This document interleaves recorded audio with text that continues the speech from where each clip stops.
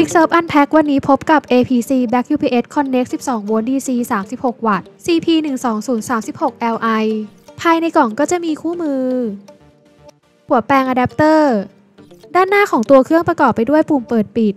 LED Indicator Main Output 12 โวลต์ DC Main Input 12 โวลต์ DC แล้วพบกับ Quick Serve Unpack ครั้งต่อไป สวัสดีค่ะ